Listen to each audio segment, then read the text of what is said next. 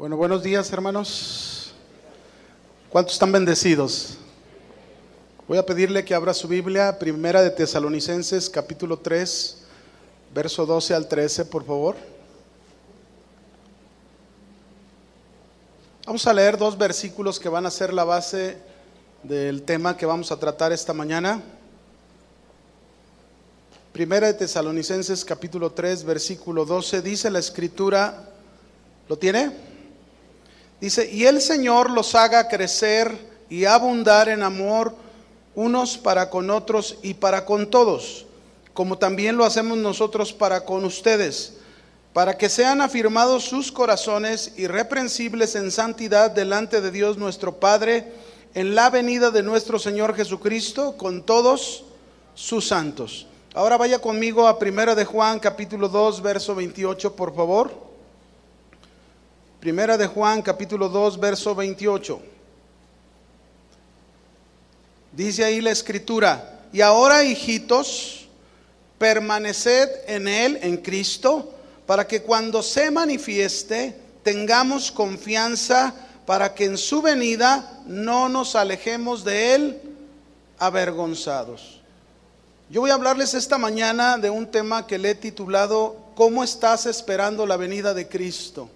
¿Cómo estás esperando la venida de Cristo?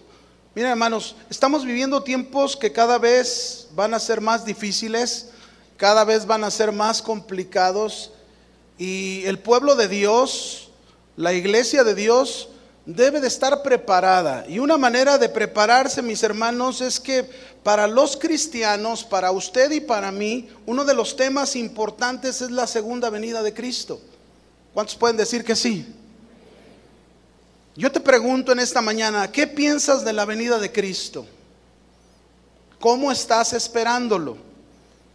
¿Es un fuerte deseo realmente para ti el querer ver al Señor? ¿Cuántos de nosotros estamos bien seguros que nuestro Señor Jesús va a regresar así como Él lo prometió? ¿Cuántos están seguros? Mucho se ha hablado, mi hermano, sobre la venida de Cristo. Desde que fue iniciada la iglesia, fundada la iglesia, muchos le han esperado, le esperan y le seguirán esperando. Pero hay quienes lo esperan mal. Por ejemplo, Pablo tuvo que exhortar a los tesalonicenses porque cuando se les habló a los tesalonicenses de la pronta venida de Cristo, muchos de ellos, ¿saben qué hicieron? Dejaron de trabajar, se subieron a las azoteas de sus casas, de sus viviendas, y ahí tranquilamente, ¿qué están haciendo aquí? Esperando al Señor. No, pónganse a trabajar. Porque entonces Pablo le dijo, porque el que no trabaje, ah, mire, ese sabe el texto, ¿verdad?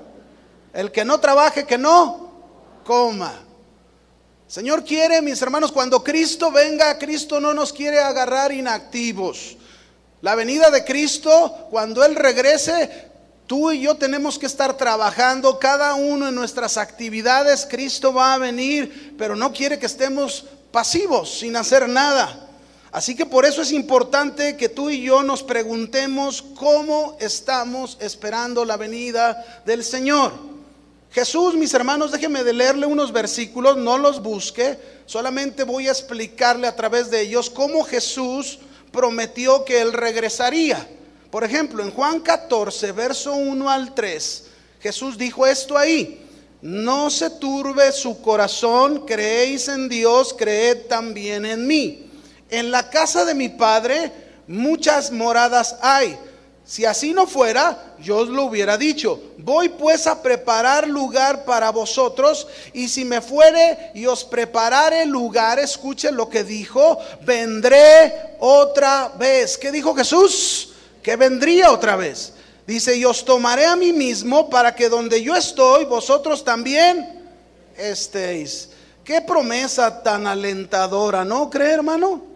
Qué promesa tan alentadora para nuestro corazón que Jesús va a regresar por nosotros para que estemos por siempre con Él, a su lado. Jesús no nos abandonó, Jesús al contrario nos dejó una garantía Una garantía a través del cual Él va a regresar. ¿Y quién es esa garantía? Las arras, el Espíritu Santo. Esa es la garantía que Cristo nos dejó para el regreso. Cuando Él venga, asegurándonos que Él va a venir por su esposa, la iglesia. Amén.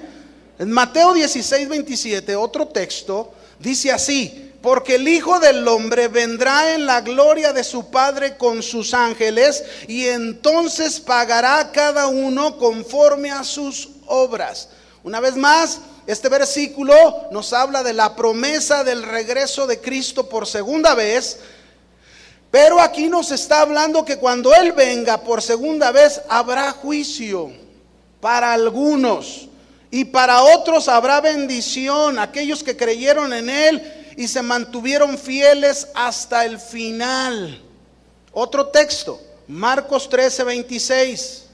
Dice ahí Jesús, entonces verán al Hijo del Hombre que vendrá en las nubes con gran poder y gloria. Una vez más, un tercer versículo que nos habla de esta promesa. Jesús va a regresar, pero en este último versículo se nos dice Jesús ya no va a venir como la primera vez. La primera vez él vino como un siervo, este, y, sirvió a los hombres, ¿verdad? Y dio su vida en la cruz, pero su segundo regreso no será así. Él va a venir con poder y gloria como el Rey de Reyes y Señor de Señores, para poner a todos sus enemigos por debajo de sus pies. Ahora, ahí está, Jesús prometió que vendría, Él va a venir. ¿Cuántos lo esperan? Hay mucha gente, mis hermanos, que vive jugando, fíjese bien, con respecto a la venida de Cristo. Y entre esa mucha gente, muchos son cristianos. Viven olvidados, desinteresados, indiferentes acerca de la venida de Cristo, como si lo que Jesús dijo que regresaría fuera solo una fantasía o una mentira. Hay muchos que viven de esa manera. Otro grupo de cristianos de plano, este grupo, creen que Jesús no va a regresar. Ellos dicen, eso que Cristo va a regresar, lo han dicho desde mis ancestros, no ha venido ni vendrá. Mira, ya han pasado más de dos mil años y no se ve nada. Históricamente, mis hermanos, se menciona de un grupo que desde el tercer siglo habían creído en la segunda venida de Cristo, pero fíjense cómo habían creído. Este grupo habían creído que Cristo no iba a regresar en lo literal. Es decir, ellos afirmaban que su regreso no iba a ser ni literal, ni corporal, ni personal de Cristo a la tierra por segunda vez. Incluso una opinión más moderna de ellos mismos, más adelante, siglos más adelante, dicen que la segunda venida de Cristo ya se cumplió según ellos. Que se cumplió en el Pentecostés cuando vino el Espíritu Santo sobre los creyentes. Ahí fue la segunda venida de Cristo. Y este pensamiento, de este pensamiento ha surgido una doctrina errónea, herética, conocida como el dominionismo que hoy en este tiempo se sigue enseñando y se, predica. El dominionismo o el reino ahora. Ellos dicen que la iglesia de Cristo es quien debe establecer el reino de Dios en la tierra. Por eso hay muchos incluso que son apóstoles o, o, pastores o predicadores que andan en busca de puestos políticos. Pero esto, mis hermanos, es una herejía. Cristo va a regresar.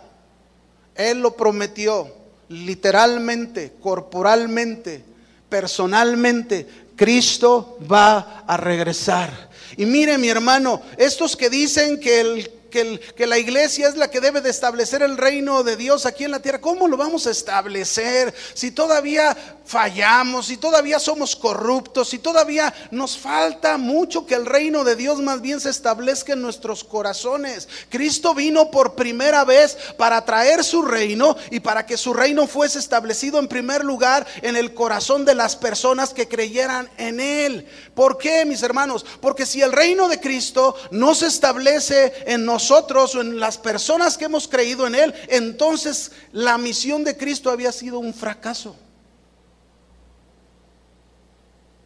¿Por qué? Porque establecer el reino de Dios en el corazón de los creyentes, mis hermanos, esto significa nueva vida.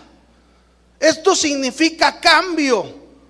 Es decir, si yo quiero cambio en mi vida, si yo quiero que mi vida sea diferente, ¿verdad? Un padre diferente, un esposo diferente, un hijo diferente, una esposa diferente. La manera en que va a suceder eso es que el reino de Dios, el reino de Cristo venga a tu corazón. Y eso significa nueva vida. Así es como debemos esperar la venida de Cristo.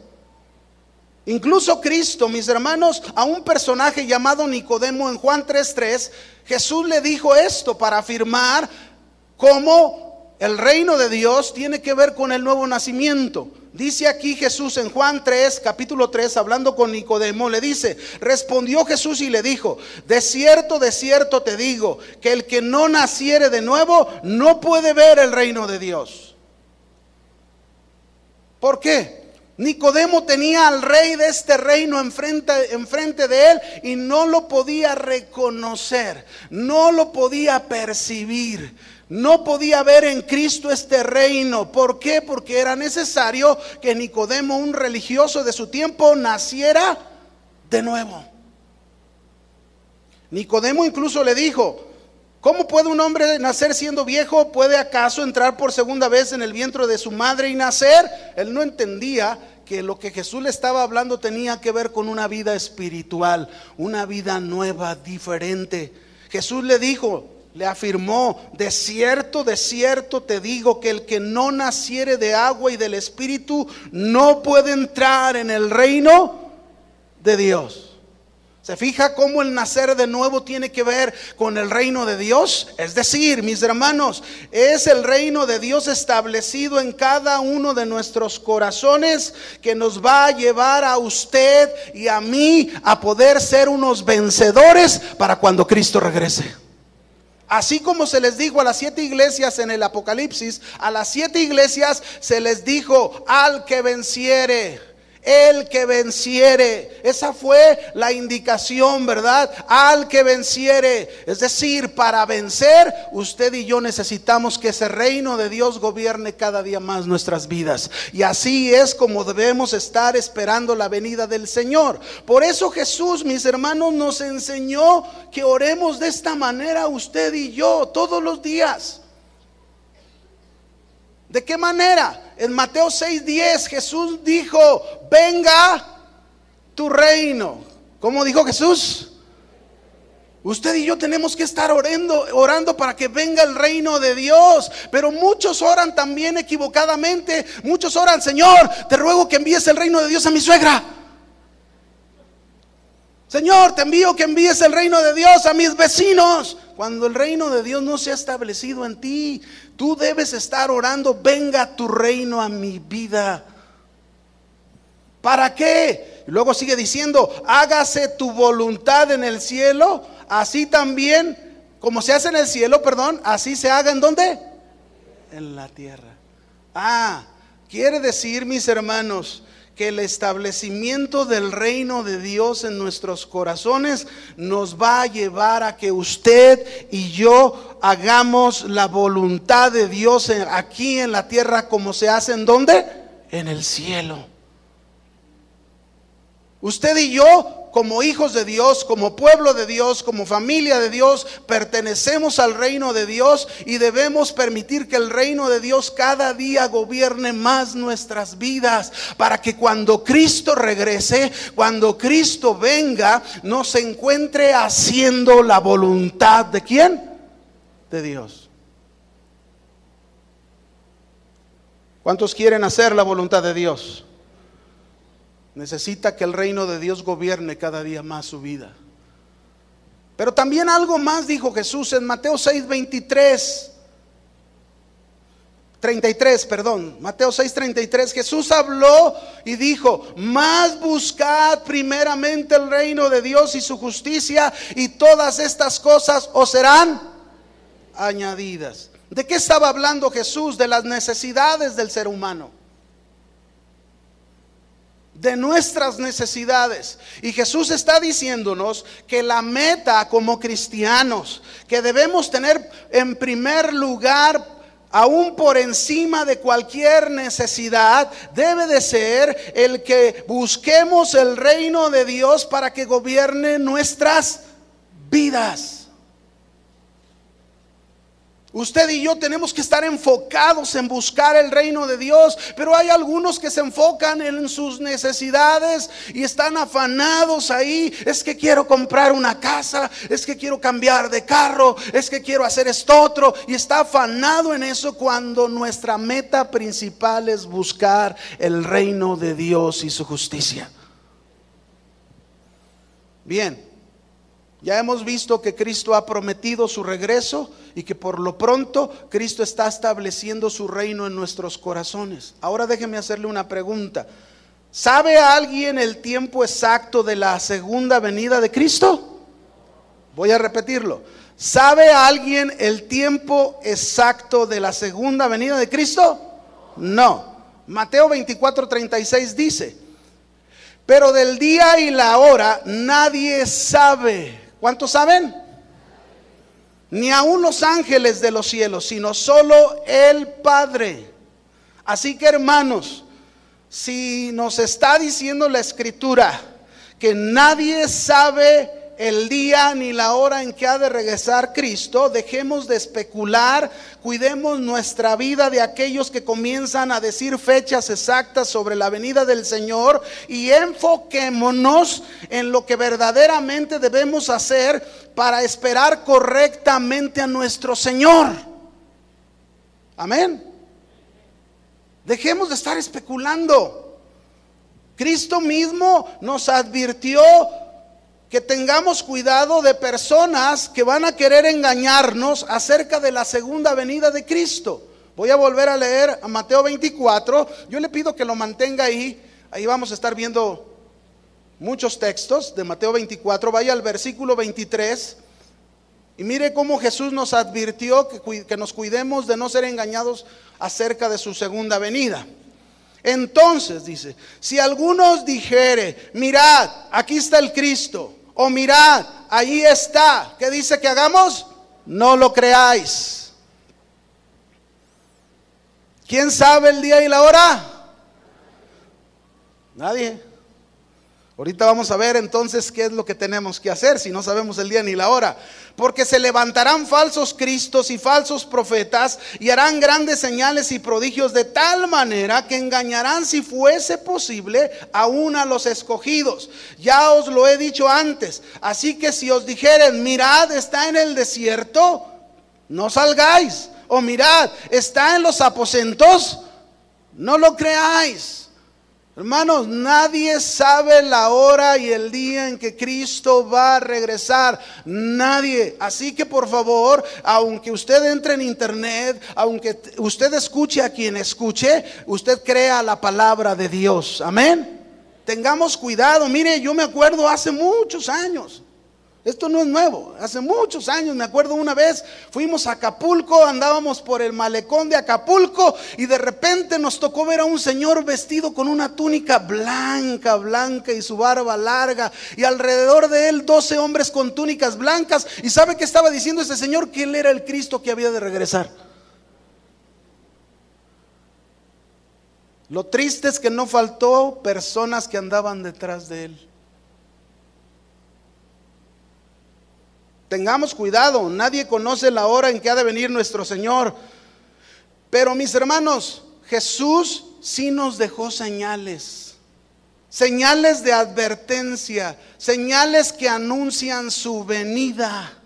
la venida de Cristo. En Mateo 24, 32, Jesús dijo esto, de la higuera, aprended la parábola, cuando ya su rama está tierna, y brotan las hojas, sabéis que el verano está cerca. Y fíjese cómo hace la comparación Jesús con eso. Así también ustedes, cuando vean todas estas cosas, ¿cuáles cosas? Las señales que Jesús nos dejó.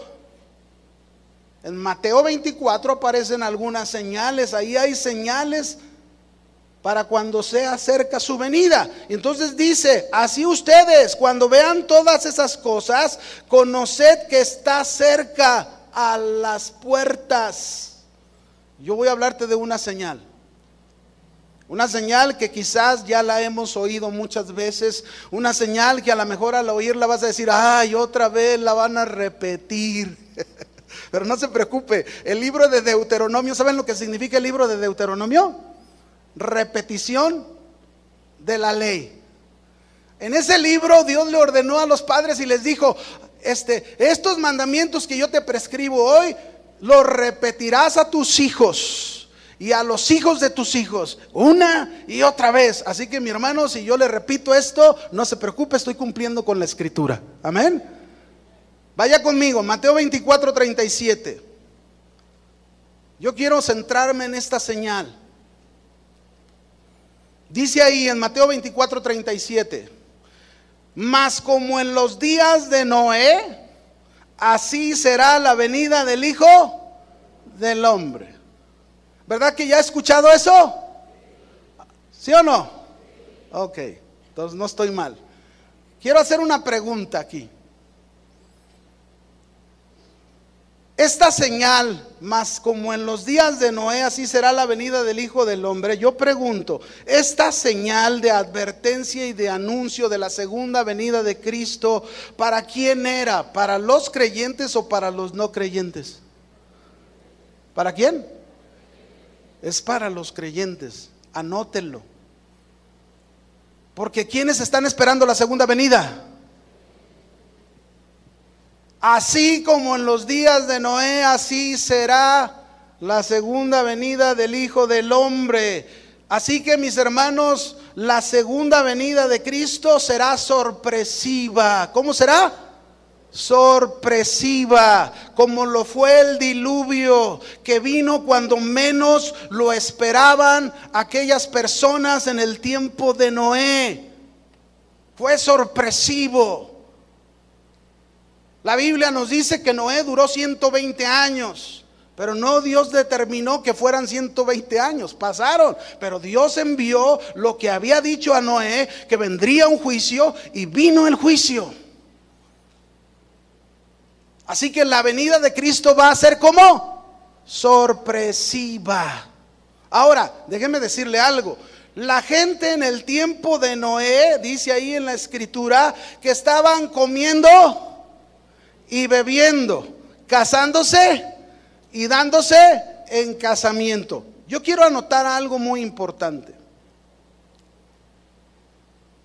Porque cuando vemos esto de comiendo y, bebiendo, casándose y dándose en casamiento, nos estamos imaginando a gente de fuera de la iglesia, nos estamos imaginando pura gente que no conoce al Señor. Ciertamente en los tiempos de Noé había mucha gente que rechazaba el mensaje de Noé y había mucha gente que, que no quería nada con Dios, pero también no podemos ignorar que había una descendencia, la descendencia de Sed, de donde provenía Noé, una descendencia de fieles y creyentes que representaban a los fieles y creyentes en Dios. Y esta parte de esta descendencia está incluida entre estos que comían y bebían, se casaban y se daban qué?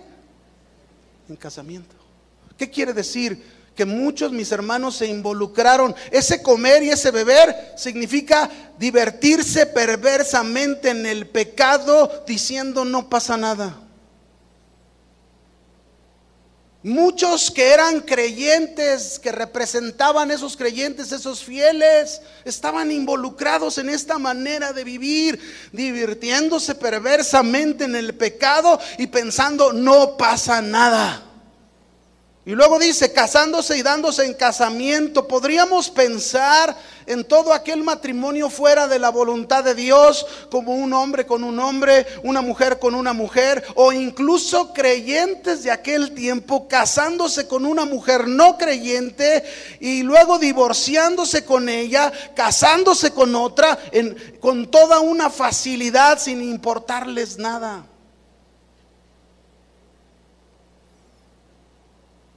Cuando dice casándose y dándose en casamiento, no es que Dios esté en contra del matrimonio en su segunda venida. No, sino más bien aquí el centro está en esto, mis hermanos, que la vida de los fieles, de los creyentes en tiempos de Noé se estaban casando y se estaban dando en casamiento con personas infieles, con no creyentes, se estaban mezclando con toda clase de impurezas. Eran matrimonios en yugo desigual y eso de esa manera los alejó de Dios se acrecentó la maldad, no había familias creyentes y fieles que representaran a Dios y a su vida moral sobre la tierra. Los únicos que había era Noé, que creyó a Dios, y su familia. Así eran los tiempos de Noé. Este estar comiendo y bebiendo casándose y dándose en casamiento, también significa una vida despreocupada, una vida irresponsable, una vida desinteresada a los mandamientos de Dios y que el hombre vive sin tomar en cuenta a Dios, llevando una vida desenfrenada y de impureza ante sus ojos. Y, y, repito, entre todos esos se encontraban de la descendencia de Sed que representaban a creyentes y fieles. ¿Qué quiere decir? Que se estaban alejando de Dios, haciendo lo mismo que los demás. ¿Para qué se nos anuncia esto? ¿Para qué se nos advierte esto? Si esto es para, si esto se anunció a los creyentes, esto mensajes para los creyentes, ¿para qué? ¿Saben para qué, mis hermanos? Para que nosotros los cristianos de hoy no hagamos lo mismo. No hagamos lo mismo que hicieron los demás. En aquellos días de Noé, aquella generación no entendió. No quisieron saber nada sobre la terrible catástrofe, el juicio que venía, que acabaría con sus vidas si no se arrepentían de su manera de vivir y se volvían a Dios. Alguien podría decir, Dios no les dio oportunidad. Mis hermanos tuvieron 120 años de oportunidad y nunca la aprovecharon.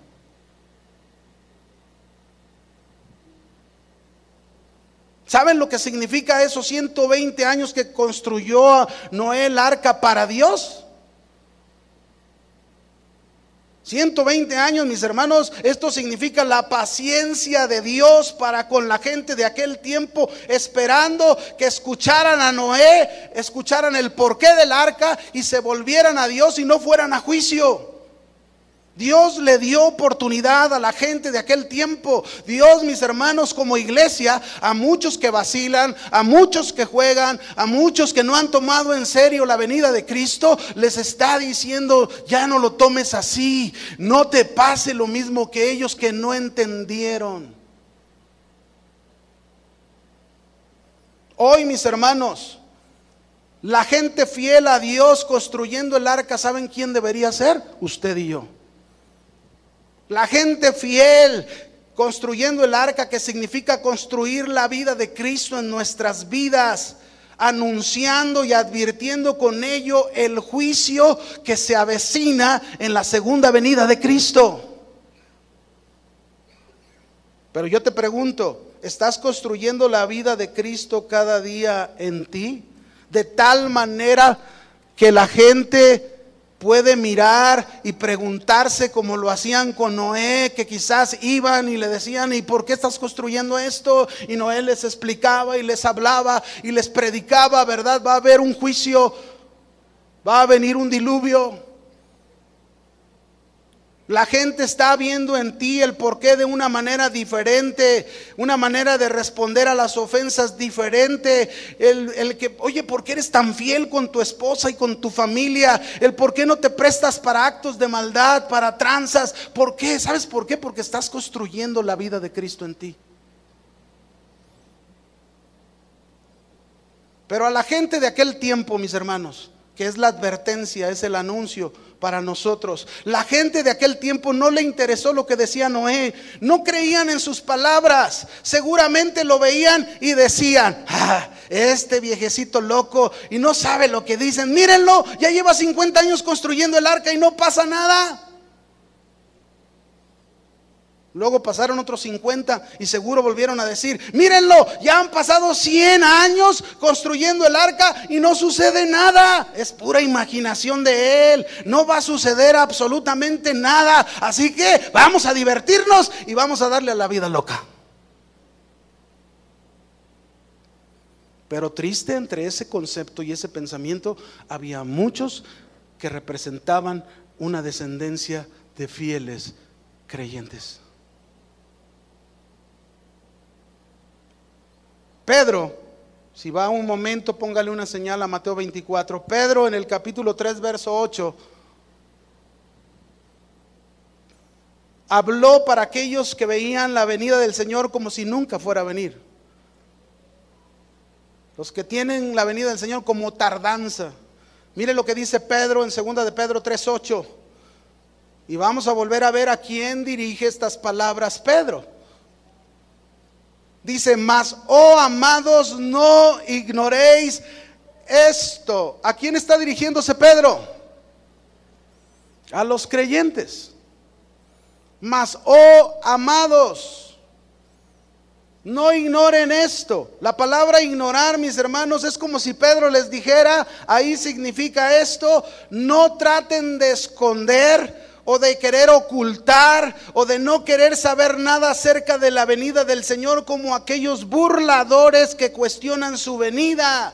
Es decir, en tiempos en que Pedro escribió su carta, habían burladores que se habían metido a la iglesia, que quizás eran, este, profesaban ser cristianos, pero, pero estos eran burladores. Ellos decían, Cristo no va a regresar, pero algunos cristianos, muy posiblemente a los que les escribió, habían abrazado este pensamiento de estos burladores falsos, metidos en la iglesia, y, y estaban con esa incógnita, Cristo no va a venir, no, mis hermanos Cristo va a regresar.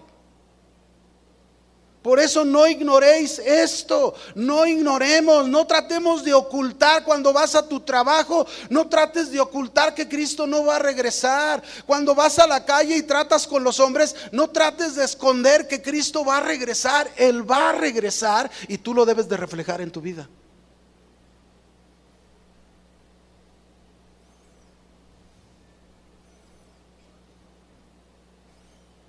Pero dice, no ignoréis esto, que para con el Señor un día es como mil años y mil años.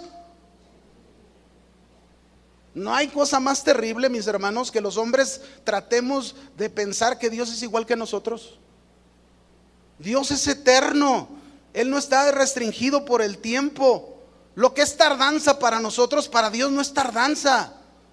Lo que para nosotros es tardanza, para Dios es paciencia.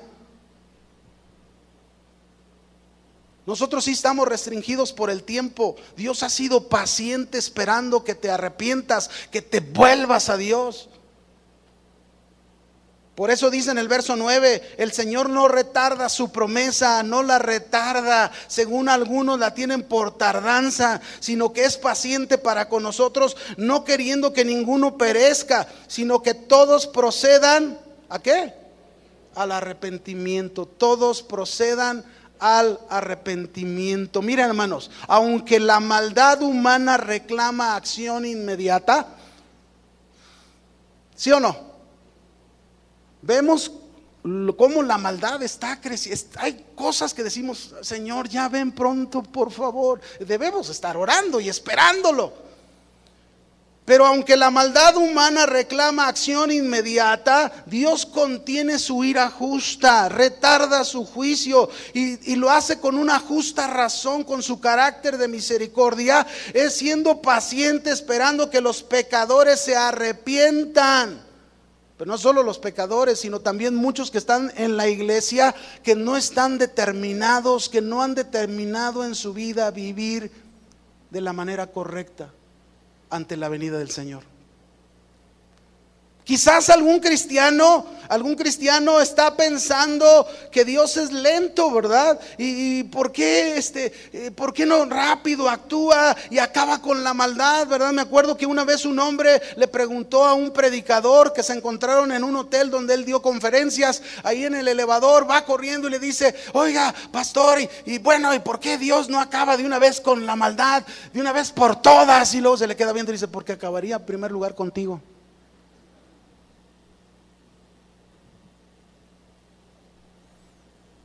¿Cuánto le dan gracias a Dios por su paciencia? Pero hermano, dele una respuesta a Dios. Es tiempo de que de verdad estemos esperando al Señor como debemos esperarlo. Con ese cambio necesario. Ahora, yo yo yo yo me hago este cuestionamiento. Por otro lado, por ejemplo, Noé podría haber dicho, Señor, ¿para qué tantos años construyendo el arca? Tú puedes salvarme a mí y a mi familia sin esta arca. Yo pregunto a ustedes, ¿ustedes creen que Dios en su poder podía salvar a Noé y a su familia sin esa arca? A ver, repito, ¿Dios podía salvar a Noé y a su familia sin el arca? Sí. Pero entonces, ¿qué representaba que Noé y su familia construyeran, construyeran, el arca? Mis hermanos, el que Noé y su familia construyeran el arca, eso representaba su obediencia, representaba su fidelidad, representaba este, el hacer la voluntad de Dios, el resistir hasta el final aquel mundo en el que se encontraban, soportando la manera de pensar, la manera de vivir, aguantando y resistiendo hasta el final. Eso es su preparación para la llegada del juicio Dios. Para nosotros, mis hermanos, la fidelidad, la obediencia, el hacer la voluntad de Dios, el mantenernos resistiéndonos en medio de un mundo cada día con más maldad, eso, mis hermanos, debe de ser el estar preparados para la venida de Cristo.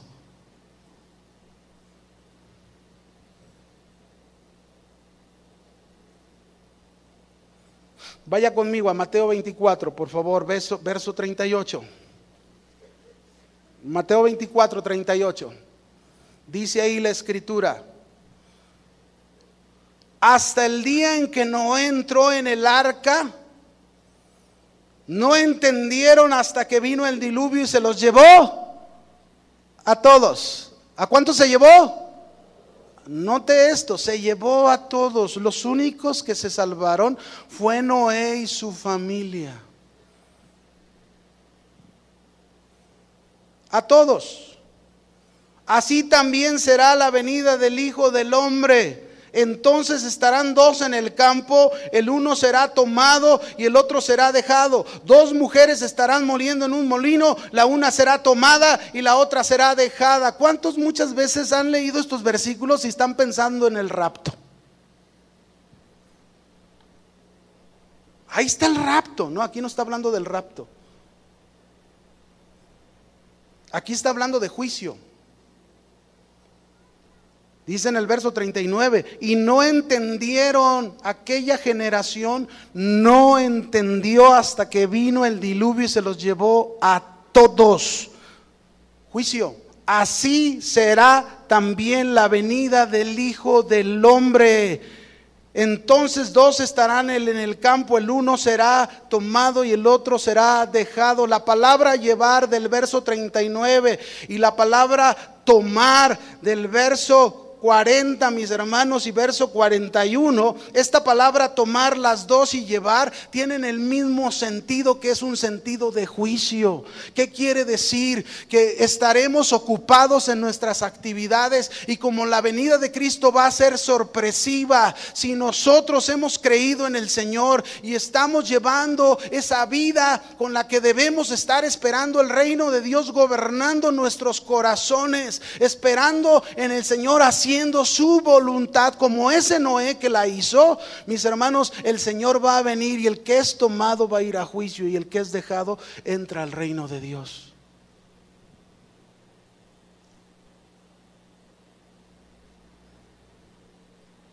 Pero es triste que muchos cristianos en las iglesias, igual que aquella generación, no entienden. Siguen viviendo vidas licenciosas como si no fuera a pasar nada. Viven despreocupados, en negligencia, en necedad de su corazón. Incluso algunos descaradamente, algunos dicen, pues si viene su juicio, que venga. Somos salvos y no importa lo que hagamos, estaremos con Él. Yo les voy a repetir la escritura. La escritura dice, y no entendieron hasta que vino el diluvio y se los llevó. ¿A cuánto se llevó? Y entre esos todos estaba una descendencia, repito, que supuestamente debían representar la fidelidad y la fe en Dios. Eso quiere decir que se alejaron, apostataron. Así que mis hermanos, no podemos pensar a la ligera en la segunda venida de Cristo. Cristo viene pronto. Cristo Cristo viene pronto y quiere, Él nos dice cómo debemos esperarlo. Mateo 24, 42. Vaya conmigo ahí. Mateo 24, 42. Dice ahí, voy a leer del 42 al 44. Velad pues, porque no sabéis a qué hora ha de venir vuestro Señor pero sabed esto, que si el padre de familia supiese a qué hora el ladrón había de venir, velaría y no dejaría minar su casa. Por tanto, también vosotros estad preparados, porque el Hijo del Hombre vendrá a la hora que no. ¿Se fija? ¿Cuándo va a venir Cristo? Primero nos dice que Él va a venir porque no sabéis a qué hora va a venir. No sabemos. Sorpresivamente va a venir. ¿Qué tenemos que hacer? Velad.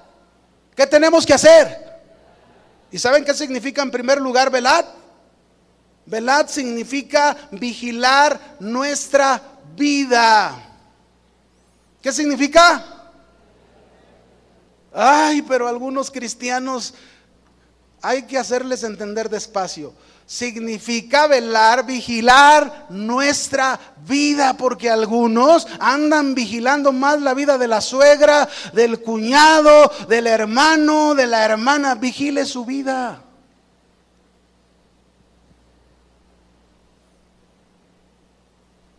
Vigile la suya. Cada uno tenemos que vigilar nuestra propia vida, ser vigilantes de cómo estamos caminando, vigilar que andemos en los caminos de Dios, vigilar que seamos fieles, vigilar que somos obedientes, vigilar que estamos haciendo la voluntad de Dios. Tenemos que vigilar nuestra vida. Otro significado de velad significa mantenerte despierto, tener una actitud de alerta espiritual. No se me olvida un pastor que fue a predicar a Vallarta, muy conocido. Fue a unas conferencias y unos amigos de él que venían de Canadá también fueron a esas conferencias. Y dice que cuando estaban ahí se encontraron los de Canadá, invitaban a este pastor para que fuera a Canadá, se fuera con ellos directamente para predicar en su iglesia. Pero él les dijo, no, yo tengo el domingo un compromiso en la Ciudad de México. Entonces cada uno tomó un vuelo diferente. Cuando sus amigos pastores que eran de Canadá tomaron su vuelo, este avión, mis hermanos, cayó en el mar y todos murieron. Cuando él se enteró de, que esto había pasado, entonces él se puso a reflexionar, yo podía haber ido en ese vuelo. Y él, y, él, y él reflexionó y dijo, de hoy en adelante voy a vigilar mi vida de tal manera como si Cristo fuese a venir hoy. Así debemos de estar, vigilantes, alertas espirituales. Y alertas espirituales, ¿cuántos están alertas espirituales? Estamos viviendo tiempos difíciles, hermanos. No podemos ignorar los tiempos difíciles en los que nos encontramos. Yo no sé si usted ha oído por ahí una ideología que se quiere implantar en nuestro país, que ya se hizo la propuesta de parte de nuestro gobierno para que entre las cámaras de diputados y de senadores se autorice esta ideología que ya existe en otros países, que se llama la ideología de género. Voy a decirle rápidamente sobre esta ideología. Enseñan que las diferencias entre un varón y una mujer no corresponden a una naturaleza fija que nos haga a unos ser, seres humanos varones y a otros mujeres. Los de esta ideología de género dicen que esas diferencias del ser varón o ser mujer son solo un producto de la cultura y de las estructuras sociales de un país y que por lo tanto se debe de dejar la libertad del género al que cada persona quiere pertenecer, ya sea homosexual, ya sea lesbiana, ya sea bisexual. Es decir, tu género no lo va a determinar tu genética sino que el modo de tu comportamiento sexual, dicen ellos, sea solo producto de la elección de cada persona. Una libertad que los gobiernos se van a encargar que se respete. Esto, mis hermanos, es diluir la diferencia entre sexos que Dios creó y que cada uno no puede decir como estos hombres están diciendo, inventarse a uno mismo. Digo, para que usted lo entienda, en algunos países esta ideología de género ya existe. Se ha firmado ya incluso un convenio, un pacto con otros países que ya tienen esta ideología. Por ejemplo, hay países donde ya el baño, el baño ya es común para hombres y mujeres. Eso es parte de la ideología. Otra cosa para, para esta ideología es que un padre y una madre, si tienen un varoncito chico, no pueden decirle, tú eres varón, Dios te hizo como un varón. No, no, porque si usted, el gobierno, si se autoriza esto, que ya hay en otros países, si el gobierno se entera que usted está haciendo eso con su hijo varón, usted puede ser considerado como padre violento e ir a la cárcel. En algunas escuelas, incluso ya en algunas escuelas, dentro de la educación, que ahí es donde van a empezar a enseñar esta ideología de género, en, algunas escuelas a los niños les, la maestra les obliga que deben de traer un vestidito y ponérselo en la clase durante toda la clase para que sepan y ellos definan qué son, si son hombres o mujeres. No por su genética, repito sino por esta ideología de género. Por eso el cristiano tiene que estar preparado, por eso el cristiano tiene que estar listo, mis hermanos, esperando la venida del Señor. Las señales son claras. Cristo nos ha puesto señales como en los días de Noé, que la maldad estaba todo lo que daba. Mis hermanos, la maldad está, está peor en nuestro tiempo. Pero en fin, ¿cómo debemos estar esperando la venida del Señor? Yo voy a enseñarles cinco puntos nada más rápidamente, cinco puntos de cómo debemos estar esperando al Señor y cómo el Señor quiere encontrarnos a usted y a mí cuando Él regrese. Vamos a los textos iniciales, Primera de Tesalonicenses capítulo 3, verso 12, ahí vamos a encontrar el primer punto, cómo debemos esperar la venida del Señor. Primera Tesalonicenses 3:12 dice, y el Señor os haga crecer y abundar en amor unos para con otros y para con todos, como también lo hacemos nosotros para con ustedes. Número uno, ¿cómo debemos estar esperando la venida del Señor? Debemos estar esperando la venida del Señor creciendo y abundando en el amor ágape de Dios. Cuando Cristo regrese, mi hermano, Cristo no lo quiere encontrar con los inicios de su amor. Cristo quiere que usted crezca, que usted abunde más. Y déjeme explicarle rápidamente lo que es crecimiento en una manera sencilla. ¿Cuántos se acuerdan cuando medían 90 centímetros? Cuando tenía 8 o 9 años, o algunos hasta 10, pero tenía 90 centímetros. Y luego después de 90 centímetros creció un metro. Y luego de un metro creció a un metro cincuenta centímetros. Y luego de un metro cincuenta que creció a unos setenta y cinco. Y luego de unos setenta y cinco llegó a dos metros. Y algunos dirán, ay pastor, con trabajo llegué al metro. Pero, no, pero, pero mire, quizás en lo físico usted se quedó en un nivel, pero en lo espiritual no. No se vale, ¿sabía?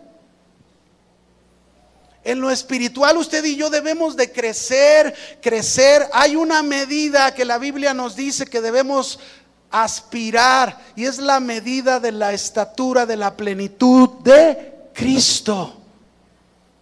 Esa es la medida que usted y yo debemos de crecer y más en el amor. Esto quiere decir que usted y yo debemos de crecer en el amor como Cristo lo fue. Yo te pregunto, ¿cómo está tu vida? ¿Estás creciendo? ¿Estás creciendo en ese amor ágape? ¿Estás creciendo en ese amor que soporta toda adversidad? ¿Estás creciendo en ese amor que solo busca el bien de los demás y no el suyo? ¿Estás creciendo en ese amor que cada día puedes decir, ya no tengo envidia? Estás creciendo en ese amor que tú dices, no soy jactancioso, no soy orgulloso, no soy altivo.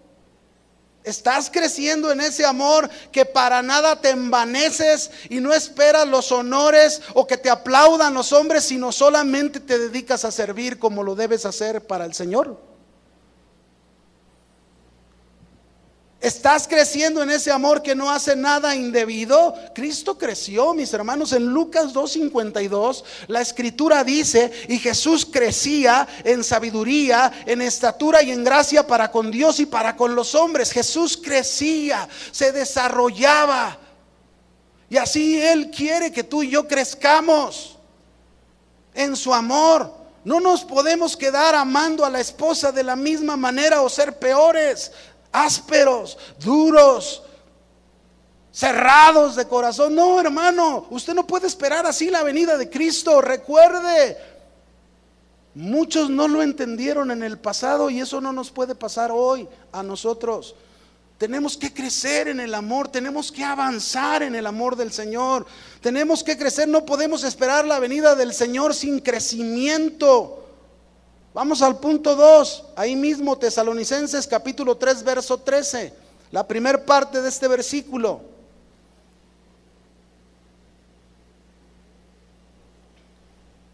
Dice, para que sean afirmados vuestros corazones.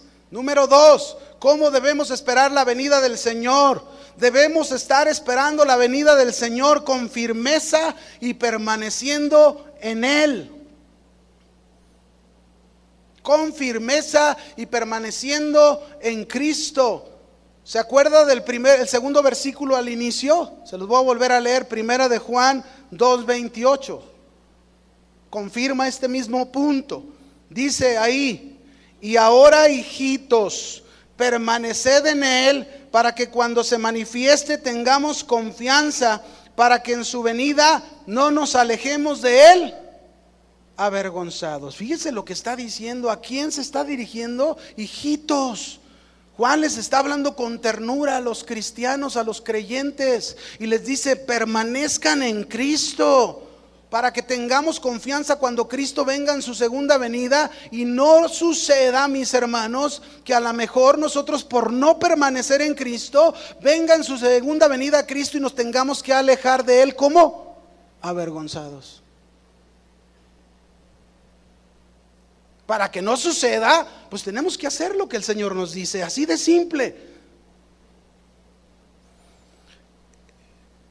Así que si observamos claramente, mis hermanos, aquí se nos está diciendo que permanezcamos, que estemos en la firmeza, una firmeza, mis hermanos, que resiste hasta el final como Noé. Una firmeza que soporta la adversidad y las luchas. A lo mejor estás pasando unas adversidades tremendas, unas luchas muy difíciles, pero la firmeza te va a ayudar a soportar hasta el final, esperando la venida del Señor. La firmeza, mis hermanos, que soporta la tentación. ¿Cuántos son tentados? Todos somos tentados todavía. Todos. Todavía aquí estamos en esta tierra y el tentador que es el diablo todavía anda detrás de nosotros y nos va a tentar y va a venir la tentación, pero necesitamos la firmeza para soportar y vencer la tentación. Necesitamos firmeza que nos va a ayudar a vencer nuestras debilidades. Somos débiles. Usted y yo no podemos decir que somos fuertes, somos débiles, pero podemos llegar a decir como Pablo, porque cuando soy débil, entonces soy fuerte porque aprendió a tomar la fuerza de su Señor, aprendió a fortalecerse en sus debilidades en el Señor. Así usted y yo tenemos que aprender esa firmeza para que no caigamos, para que no nos alejemos del Señor y para que no nos avergoncemos cuando Él regrese. Tres. Ahí mismo, Primera Tesalonicenses capítulo 3, versículo 13. Ahí hay otro otra característica, cómo debemos esperar la venida del Señor. Para que sean afirmados vuestros corazones. Y luego dice una palabra, irreprensibles. ¿Cómo? A ver, dígalo fuerte. Irreprensibles. Esta palabra irreprensibles, mis hermanos, significa que somos libres de acusaciones, que no se nos puede reprender, que no se nos puede culpar y que no damos lugar a ello. Por ejemplo, si tú vienes a la iglesia, te levantas temprano, vámonos al servicio, rápido, y no se apura, ¿verdad? Y ahí está la esposa, pues con tres hijos, pues es más tardado y luego más si no le ayudas tú. Entonces ahí está rápido, ya, ya se hizo tarde, ya vienes peleando con ella, ya la, ya la lastimaste, ya le dijiste de cosas, y vienes a la iglesia y ni siquiera arreglas las cosas, pero vienes y levanta las manos. En esa actitud, a ti se te puede acusar, a ti se te puede reprender. Pero suponiendo lo mismo, que tú te equivocaste, tú fallaste, le dijiste algo a tu esposa que no debías habérselo dicho, pero luego reflexionas y dices, híjole, la regué. Oye, mi amor, perdóname. Mira, yo no quería decirte eso, pero este, estoy, estoy luchando, estoy tratando de cambiar esa área de mi vida. ¿Me perdonas? Sí, te perdono. Y cuando vienes aquí, has arreglado tu situación. ¿Sabes qué estás haciendo? No estás dando lugar para que te reprendan, para que te acusen. Eso es ser irreprensibles. Ser irreprensibles no significa que seamos perfectos, porque nunca vamos a ser perfectos. Pero ser irreprensibles, mis hermanos, que no damos lugar, que se nos señale. Eso es lo que debemos hacer. Pero hermanos, no seamos como estos casos que le voy a mencionar, ¿verdad? Que alguno, por ejemplo, invita a un incrédulo y le dice, oye, vamos a la iglesia. Y luego él te contesta y te dice, ah, con el pastor que le pide prestado a la gente y no paga. Y luego otro invita a otro y le dice, vamos a la iglesia fulana. Y luego dice, ah, ahí con el creyente que engañó a su esposa. O con aquel que se congrega ahí en esa iglesia y que, que dejó a su mamá sin nada. No, hermanos, eso no es ser irreprensibles. Y somos cristianos. Somos esa generación nueva en Cristo Jesús, que tenemos el reino de Dios gobernando nuestras vidas, que hacemos la voluntad de Dios y no podemos estar mostrando este tipo de imágenes. O como aquella pareja, ¿verdad? Que invita a sus vecinos, ah, miren vecinos, los invitamos el viernes ahí a casa de oración a la reunión de matrimonios, vamos a tener una reunión padrísima, vénganse a la reunión, pero luego los matrimonios les dicen, ¿para qué? Para vivir como ustedes que diario les oímos gritándose el uno al otro. Mis hermanos, así no podemos esperar la venida del Señor. La venida del Señor debemos esperarla siendo irreprensibles en nuestra vida matrimonial, en nuestra vida familiar, en nuestra vida en el trabajo, en nuestro servicio, en la calle. Hay, un ejemplo que, que una hermana nos comentó un día y me gustó mucho, ¿no? Ella, ella hablaba que estaba en el aeropuerto de aquí de la ciudad y un pastor que es de otro lugar había yo creo que venía de la Ciudad de México, estaba esperando su vuelo ahí en el aeropuerto para, para volar hacia, hacia su lugar donde radica. Y entonces estaba ahí la hermana viendo todo, estaba por allá retirado aquel pastor que ya lo conoce. Y de repente dice, apareció una mujer pero con un vestido súper cortito, muy guapa, muy bien formada en su cuerpo, dice la hermana. Dice, no, no, no, usted hubiera visto. Todos los hombres, todos, todos volteando a verla, no le despegaban la mirada, ¿verdad? Pero en eso yo vi que la mujer iba hacia la fila donde estaba el pastor. Dije, ay, pues ahora voy a ver al pastor. Cuando llegó la mujer, fíjense bien, y se paró ahí enfrente donde estaba el pastor con su celular, al, al levantar su rostro el pastor, y verla, inmediatamente se voltea hacia, la, hacia, hacia el lado contrario y sigue con su... Y entonces dijo ella, este sí es cristiano.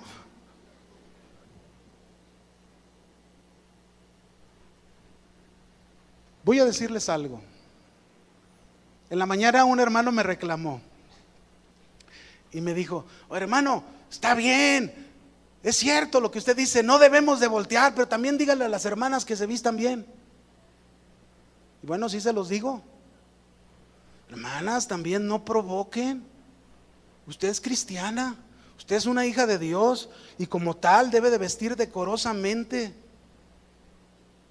como el Señor lo pide en su palabra. No podemos estar haciendo cosas. Mire, yo me acuerdo cuando estaba de pastor en Amatitán, había una joven que siempre llegaba con unos vestidos de minifalda increíbles. Yo les decía a los sugieres, quítenmelo, la, me la ponían puro enfrente, quítenmela de ahí, no la quiero ver ahí.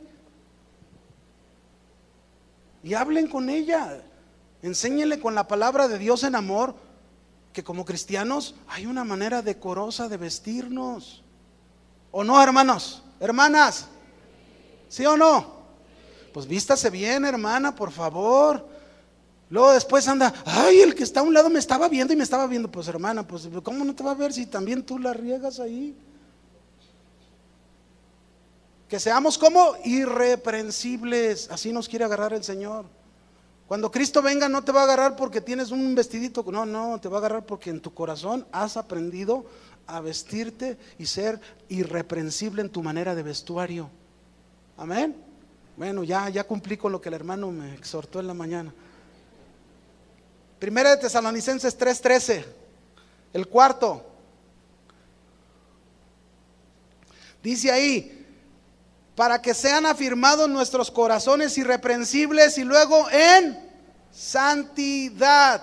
¿Cómo debemos estar esperando la venida de Cristo? Debemos estar esperando la venida de Cristo en santidad en toda nuestra manera de vivir. ¿En qué? En toda en toda nuestra manera de vivir, en toda. Así que hermano, cuando vayas a tu trabajo, ahí debes estar viviendo en santidad. Sí, en santidad con tus compañeras y en santidad con tus compañeros y en santidad con toda la gente, tus clientes que tratas. Ahí debes estar viviendo en santidad. Cuando andas en la calle en tu vehículo, tú debes andar en qué? En santidad. Así debemos esperar la venida del Señor. Imagínese, el Señor viene cuando yo voy manejando en el vehículo, pero ahí el Señor me está viendo cómo estoy viviendo en santidad. A lo mejor ya le estoy echando pleito al de lado. Santidad en toda vuestra manera de vivir. Eso es lo que el Señor quiere. La santidad no es lo que yo puedo mostrar por fuera de mi vida.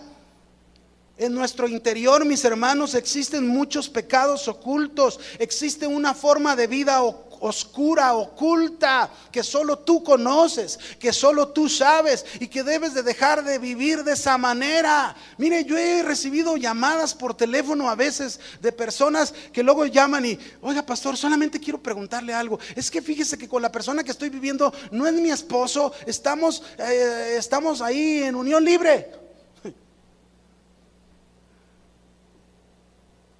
¿Estoy bien?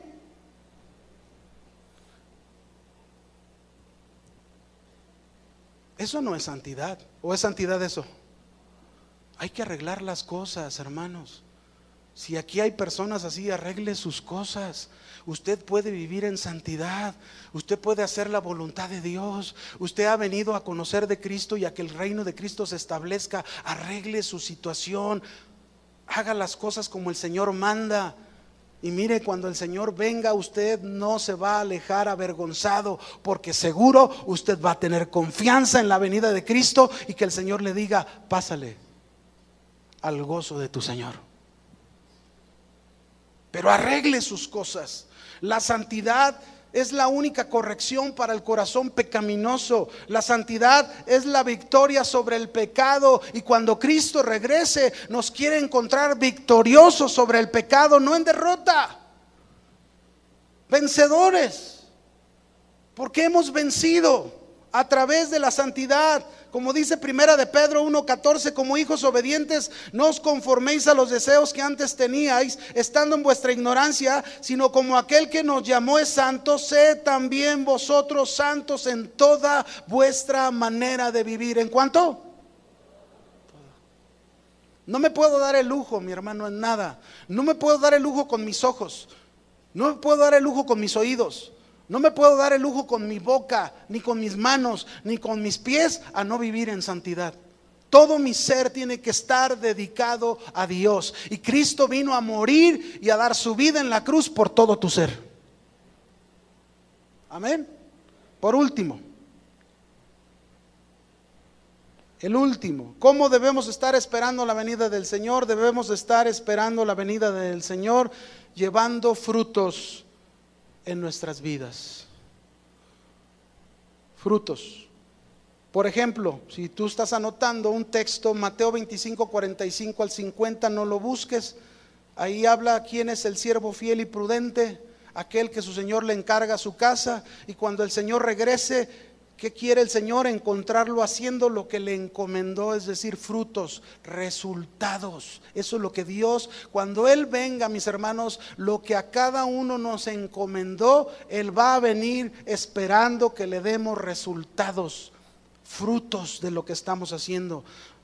En la parábola de los talentos que está en Mateo 25, verso 14 al 30, también entregó talentos a uno cinco, a otro dos y a otro uno ¿Qué, esperó el Señor? Se fue lejos y luego regresó. Y cuando regresó, al que le dio cinco, este había producido otros cinco. ¿Qué significa esto, mis hermanos? Que en el reino de Dios no puede haber improductivos. En el reino de Dios no podemos ser estériles sin fruto. Tenemos que ser personas que damos frutos. Eso es importante en el reino de Dios. ¿Saben por qué? Porque los frutos van a ser la evidencia de que somos o siervos buenos o siervos malos. Los frutos van a dar la evidencia de que tenemos un corazón arrepentido. Los frutos van a dar la evidencia de que estamos haciendo la voluntad de Dios. Los frutos van a dar la evidencia de que permanecemos unidos en Cristo Jesús. Los frutos van a ser la evidencia de que nos conducimos en el Espíritu y no en la carne. Los frutos van a ser la evidencia de que vivimos en santidad. ¿Cómo estás esperando la venida de Cristo? ¿Cómo? Yo te digo en esta mañana, si tú reconoces que has sido indiferente ante la venida del Señor, si tú reconoces que no has estado esperando al Señor como debería de ser, si tú reconoces que te falta crecimiento en el amor, que no has avanzado en eso, que debes avanzar, si tú reconoces la falta de firmeza, si tú reconoces que no llevas una vida irreprensible como hablamos hace un momento, si tú reconoces que no llevas una vida en santidad, que has descuidado esa área en tu vida, si tú dices me faltan frutos ante la venida del Señor, Él está pronto por venir. Los tiempos son complicados y difíciles. Yo te invito en esta tarde, mi hermano, si, si, es tu deseo cambiar el rumbo, si es tu deseo eh, estar vigilante de tu vida y estar preparado ante la venida del Señor, yo te digo en esto, ¿por qué no te pones de pie y oramos al Señor?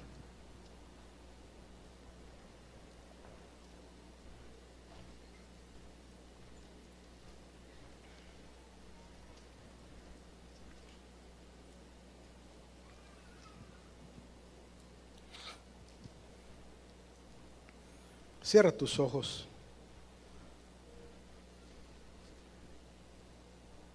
Y sí hemos orado por necesidades, que es una parte importante en el cuerpo de Cristo. Pero este es un momento también importante en la vida de nosotros. Este es un momento importante donde nosotros debemos hacer un análisis y un reflexionar en nuestra vida y pensar cómo estoy esperando al Señor. Señor, aquí estamos esta, esta tarde. Tú has expuesto tu palabra, has hablado a nuestro corazón y no queremos ignorar acerca de tu venida. Queremos estar vigilantes, queremos tener una alerta espiritual, queremos estar listos preparados en cualquier momento cuando tú regreses, porque tu regreso va a ser sorpresivo. No nos vas a avisar, no nos vas a decir, eh, nos has dado señales y por lo tanto nosotros debemos estar preparados en cualquier momento para cuando tú vengas. Yo quiero vivir cada día como si fueses a venir hoy mismo. Que mi vida, Señor, mi consagración, mi entrega a ti, Señor, sea como si hoy mismo tú me fueras a llamar a cuentas. Si, no he tenido ese crecimiento, Señor, yo quiero, yo quiero dedicarme, quiero enfocarme a crecer. ¿Cuánto amor me hace falta aprender? Amor tan necesario para mi casa. Amor tan necesario, Señor, para poderlo mostrar a los vecinos que no te conocen. Pero cuánta firmeza también hace falta. A lo mejor he sido una persona inestable, he tenido altas, bajas y las circunstancias me han llevado a no mantener una vida estable de firmeza, con raíces profundas a pesar de las tormentas. Pero quiero esperarte con esa firmeza. Quiero esperarte, Señor, siendo permanente en ti, permanente en tu palabra, permanente en esa obediencia. Señor, a lo mejor no he sido irreprendido, a lo mejor he dado oportunidad a que me reprendan, me acusen. Y ahora hasta mi corazón incluso lo he puesto en una defensa, no queriendo que nadie me llame la atención. Pero hoy en esta tarde te pido perdón, Señor. Ayúdame, quiero ser irreprensible. Quiero llevar verdaderamente esa vida como esa generación que tú esperas de nosotros que representemos tu vida en la tierra. Quizás en la santidad te he fallado, pero aquí estoy, Señor. Una vez ante tu presencia, quiero vivir en santidad. Quiero que todo mi ser, mi ser entero, sea dedicado a ti, Señor en santidad, en todo lo que haga. Pero sobre todo, Señor, que puedas encontrar en mi fruto cuando vengas. No pase cuando fui como fuiste a la higuera y no encontraste fruto. Que Señor, cuando tú vengas, vengas a mi árbol, a mi vida y encuentres los frutos que tú esperas en mí. Señor, somos tu iglesia, somos tu pueblo y queremos esperarte y nunca avergonzarnos cuando tú vengas, sino al contrario, que tengamos toda la confianza que vamos a entrar en tu reino juntamente contigo por toda la eternidad. En el nombre de Jesús. Gracias Señor. Amén. Y amén. Que el Señor le bendiga, hermano.